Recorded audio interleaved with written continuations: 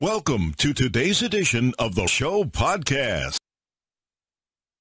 News of Papa John's founder and former CEO insists he's not racist. John Schnatter recently went on the far-right network OAN to disavow those who insist that he is, Mediaite reports. Since reports of him using the N-word on a company call in 2018 led to his exit from the company, Schnatter says that we've had three goals for the last 20 months.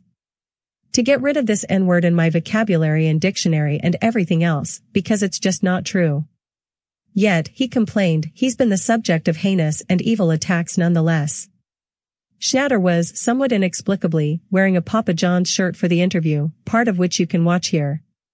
Schnatter also insinuated there may have been a conspiracy to oust him as CEO, and accused people of painting him as racist, Yahoo News reports.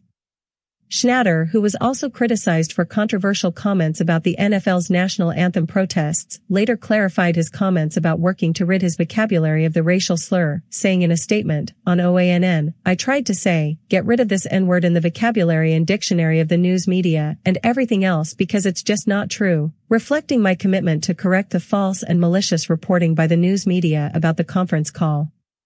It was proven in an investigative report by former FBI Director Louis Freeh that there was nothing racist in my words or actions on the conference call with our ad firm and that there has never been in my history. In fact, I said then, I never used the word on that call, though the media failed to report that crucial qualifier when I was paraphrasing a third party. Newsweek notes that Schnatter previously admitted using the N-word, but said it was acceptable since it was not used as a slur. Read more John Schnatter stories.